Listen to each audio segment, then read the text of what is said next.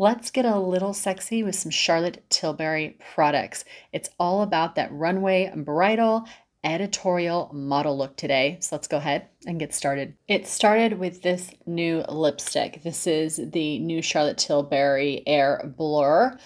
And then shopping at Sephora, I noticed there was a couple other things that I needed to replenish or try.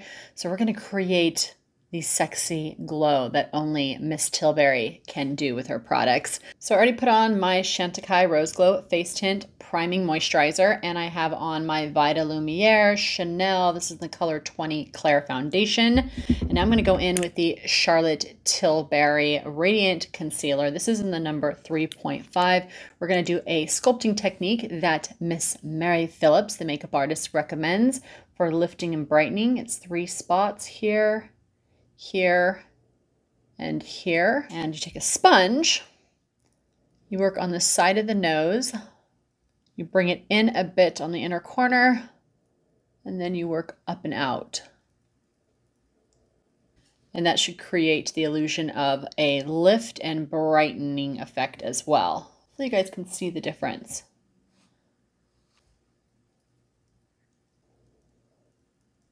Should create a natural highlight. For instance, this is going to look darker just because this is brighter now, so it creates a natural contour highlight look. Now we're going to go ahead and get into the contour stick. Now there are so many products that I show you guys and so many products that I buy that I forget what I show you and what I haven't.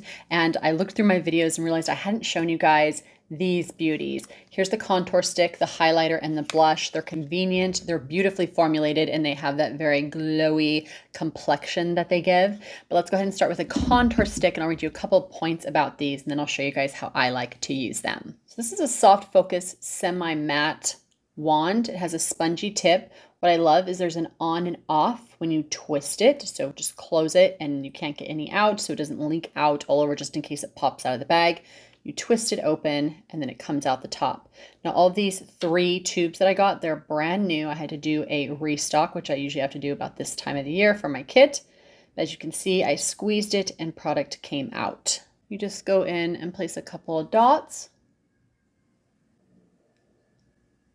And you can use your finger or you can end up using the brush up to you or the applicator, the sponge tip here.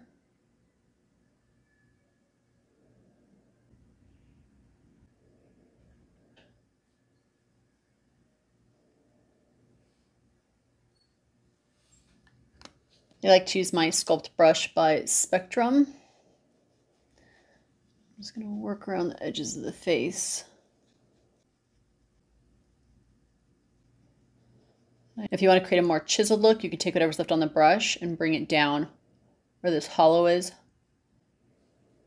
This will create a very strong jawline back here because you're pulling this back into space. Remember, dark colors recede, light colors move forward.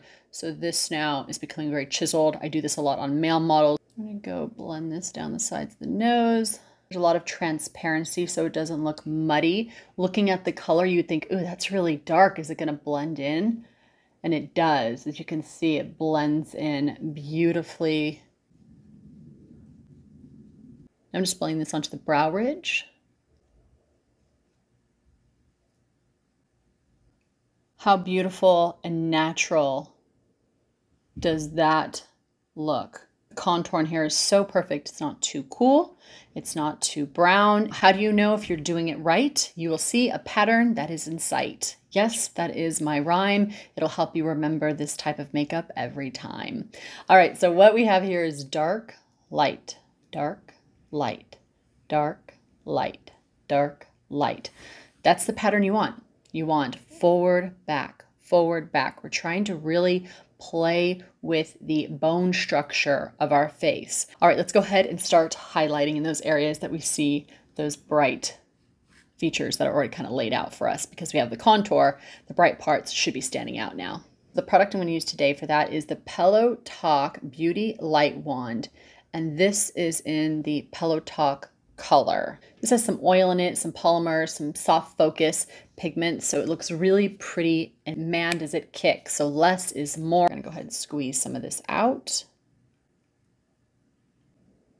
And let's look, where do we have the bright part of our face standing out?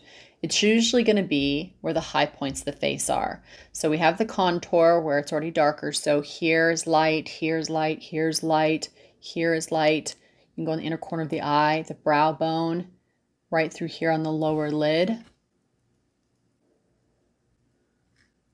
I like to use a sponge for this part. Use just a clean section of your sponge and tap it in.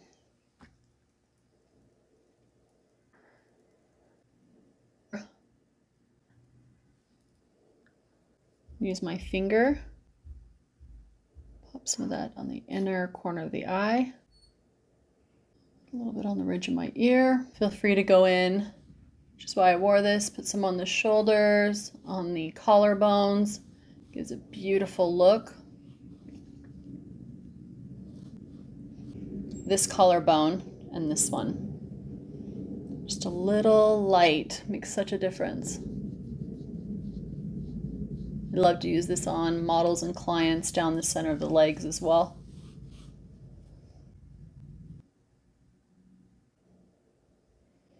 Nice, right? Two products to highlight and contour can create this beautiful soft definition with a glow. You add some gloss, mascara, tinted moisturizer, and brow. You have a goddess-like look. So this is a highly pigmented matte long wear blush. Once again, we're going to twist it open and just put out a very little bit and pop a couple of dots on the cheeks. I'm going to place it in between the highlight and the contour because we're still trying to do that lifted look. I like just a couple dots on my nose as well. We're going to put some also underneath that contour in the crease. Taking the same brush that I had the contour on earlier, patting this in, setting it in between that highlighter and the contour, just seeing around the brow to the temple to the cheek here. Just lightly feathering that into that crease, letting it overlap just a bit onto the contour, turning the brush around so I can have a little more precision And here we have it, peaches and cream. How lovely is the finish on these. Telling you, it's that goddess-like skin that we see all over the runway, red carpet, bridal, and editorial. This next product I was so not interested in purchasing. It's the Charlotte Tilbury Airbrush Lip Blur Matte Lip Stick. That's a tongue twister. Now, the reason I wasn't interested is because I feel like I have so many of these type of products but this product completely won me over. I've been wearing it for a few days now, and I'm going to get every single color for my kits because it's just one of those products that looks beautiful on the cheeks and the lips, and it feels incredibly comfortable. It states it's a matte meets moisture airbrushed lip look. It does have hyaluronic acid in it, so I feel like that's what I'm feeling. Now, the key ingredients in here are hyaluronic acid for up to 24 hour hydration, powder blur technology for a weightless matte finish, and film forming resin, which provides a smooth airbrushed look. Let's go ahead and try it on and you guys will see exactly what I mean.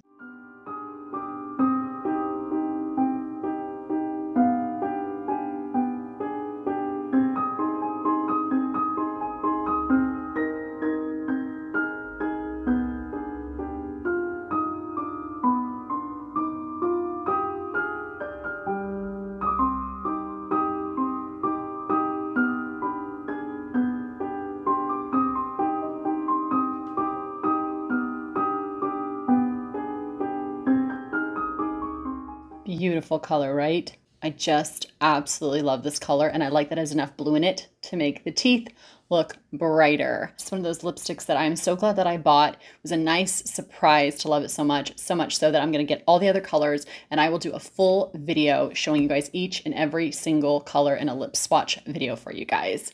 All right, everyone, as always, thank you so much for watching. You like what you're seeing here, go ahead and don't forget to subscribe and leave a thumbs up and comment. Those are the things that help push me through this algorithm so that you and others are able to see more of my content. If you guys want to further support my channel, you can help by using the affiliate links down below for any of the products that I use today. You can also donate if you don't want to buy a single thing. And if you guys are doing any type of shopping at any point and you want to support the channel, all you need to do is use the affiliate links I have below. I have several different stores that you can shop for anything your heart desires, whether that's to replenish or to get something new. Those affiliate links help to give me a small commission, which help me to buy products to continue to do this channel for you all. And lastly, if you guys haven't had enough, head to TikTok or to Instagram, where I show you guys sneak peeks of up and coming products and some mini makeup tutorials. And finally, you can head to cherivoyage.com if you want to book a one on one with me. And I think that's it. All right, everyone. Thank you so much for going on this voyage with me. As always, continue to take care of you, continue to take care of each other, and I will see you guys in the next video. Bye for now.